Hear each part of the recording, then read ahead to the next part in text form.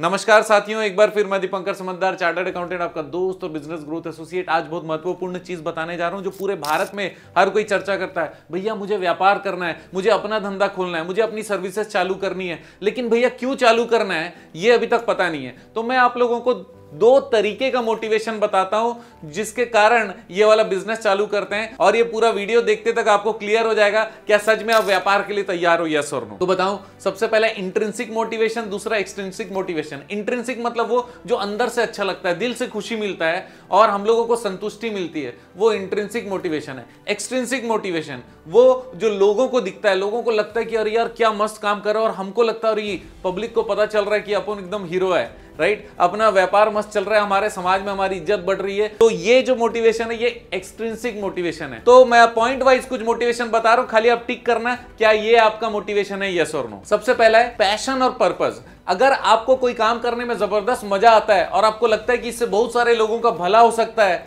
तो ये काम अगर आप करने जाओगे तो आपको कौन सा मोटिवेशन मिलेगा?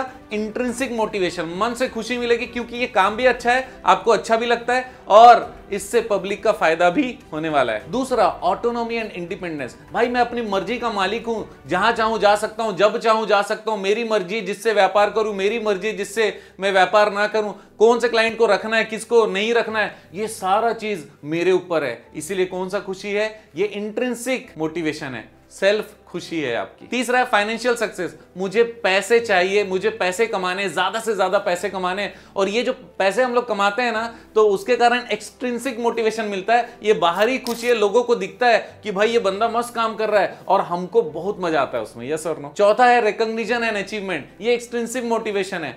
पब्लिक में जाकर हम लोग काम करते हैं, वहाँ पर हम लोग पार्टिसिपेट करते हैं, हम लोग को रिवार्ड मिलता है, हम लोग को रिकॉग्निशन मिलता है, हम लोगों को बहुत सारे जगह पर सम्मानित किया जाता है। अलग अलग तरीके से हम पब्लिक डोमेन में जाते हैं और वहाँ पर लोग हम लोगों से कनेक्ट होते हैं और उनको लगता है कि ये सही बिज़नेस कर रहा है। और ये जो खुशी है, ये जो मोटिवेशन है एक्सट्रिंसिक मोटिवेशन है, बहुत पावरफुल मोटिवेशन है। आपको ये चाहिए या नहीं चाहिए नोट डाउन करना। पांचवा इंपॉर्टेंट चीज़ है चैलेंजेस और ग्रोथ बहुत सारे लोग रहते हैं जिनको लगता है कि यार, ज़िंदगी बहुत नॉर्मल चल रही है। कुछ तो धमाल करेंगे, कुछ कमाल करने वाले कुछ चैलेंजेस लेने वाले कोई ऐसा चीज़ करेंगे जो कोई और नहीं कर रहा है और हम लोग रुकने वाले नहीं है। अगर ये पब्लिक में अभी नहीं आया तो हम लोग लाएँगे, धुआंधार लाएँगे, ज़बरदस्त काम करेंगे। एग्ज़ाम्पल ले लेते हैं जोमेटो स्विगी कौन सोच सकता है कि भाई रेस्टोरेंट में जाकर खाने से ही मज़ा आने वाला है? लेकिन अब घर पे बैठ के बोलते हैं, नहीं, घर पे बैठ के भी मज़ा आ सकता है। अपने परिवार के साथ मज़ा आ सकता है। ज़्यादा समय परिवार को देना चाहिए। ये एजुकेशन भी देना एक अपने आप में चैलेंजेस था और इसमें ग्रो करना बहुत बड़ा चैलेंजेस था। तो जैसे जोमेटो स्विगी ने कंसेप्ट लाया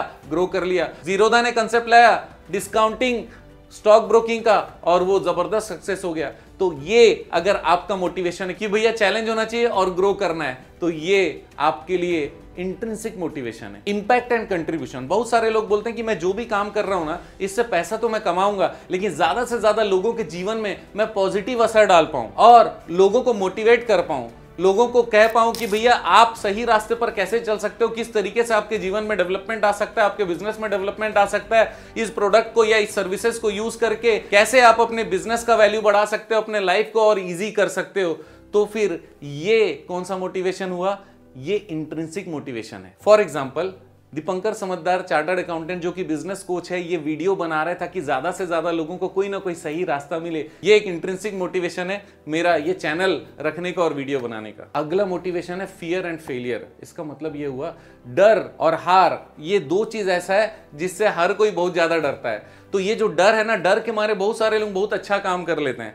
फॉर एग्ज़ाम्पल जब मैं चार्टर्ड अकाउंटेंसी के कोर्स में गया, पहली बार सीए इंटर का एग्ज़ाम दिया एग्ज़ाम दे के दोनों ग्रुप एक साथ देने के बाद मैं फेल हो गया। मेरे पापा बोले कि, दीपंकर, इस बार अगर अगले बार फेल हो गया ना तो पक्का तू ठेला चलाना, क्योंकि मैं तेरे लिए और कुछ कर नहीं कर नहीं सकता हूँ, कहीं पे घूस नहीं दे सकता, तेरे को किसी नौकरी में कोई सिफारिश कर नहीं सकता, मेरा कोई जुगाड़ नहीं है। तो डर आ गया। मुझे लगा, भैया, सीए नहीं बने तो ये तो ठेला चलाना पड़ जाएगा। तो ये जो फियर है, ये फियर के कारण भयंकर मेहनत करने लग गया मैं, और अपने आप को इतना स्ट्रक्चर किया, जैसी लगता था कि मैं सोने वाला हूँ, या फिर कहीं पे मेरा पावर कम होने वाला है, मैं पढ़ाई ढंग से नहीं करने वाला हूँ।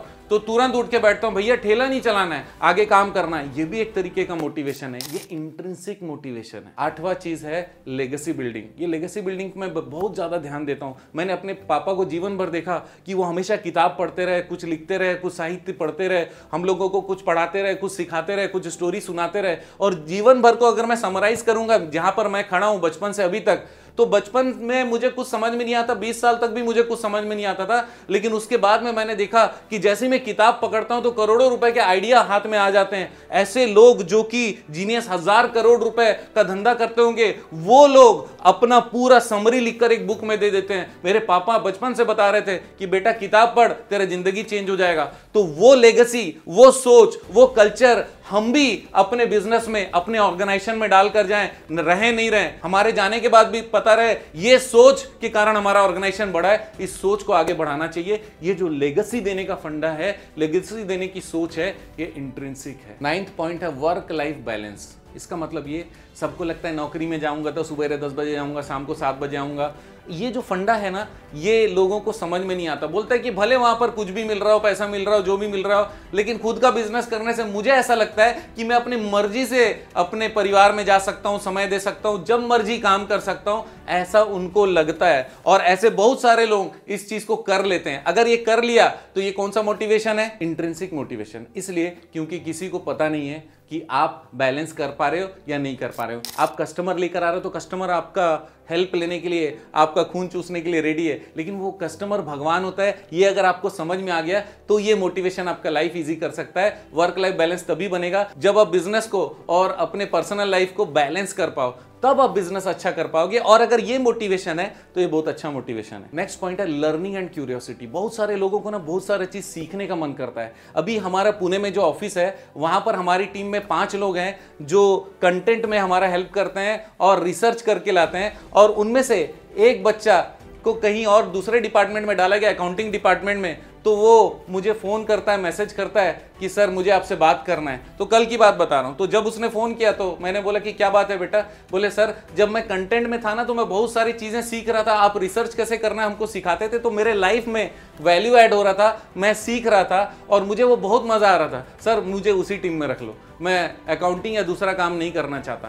तो ये जो लर्निंग का फंडा है, ये बहुत अच्छा है। तो अगर आपका व्यापार ऐसा है, जिसमें आप दूसरों को सिखा पाते हो तो इससे बढ़िया कोई बात नहीं है। इससे ज़बरदस्त कोई बात नहीं है। और लोग आपसे लर्निंग के लिए अगर कनेक्ट हो जाते हैं तो मज़ा आ जाता है। इसीलिए मुझे अपने काम में बहुत मज़ा आता है। और ये कौन सा मोटिवेशन है? इंट्रेंसिक और सबसे इंपॉर्टेंट मैं बता दूँ सोशल रिकग्निशन जब आप बहुत अच्छा काम करते हो ना तो आपके परिवार वाले दूसरे लोग बोलते हैं, बेटा, इसकी नौकरी लगवा देगा क्या? इसको अपनी कंपनी में रख लेगा क्या? इसको कहीं पर सेटल करा देगा क्या? हर कोई आपसे एक्सपेक्ट करने लगता है। और वास्तविक बात यह है कि आप कई बार सक्षम भी रहते हो। कई बार मतलब मैक्सिमम टाइम आप सक्षम रहते हो सामने वाले की मदद करने का। तो ये ज़बरदस्त सोच है, ज़बरदस्त मोटिवेशन है, लोगों को लगता है कि ऐसा बन जाऊँ बस।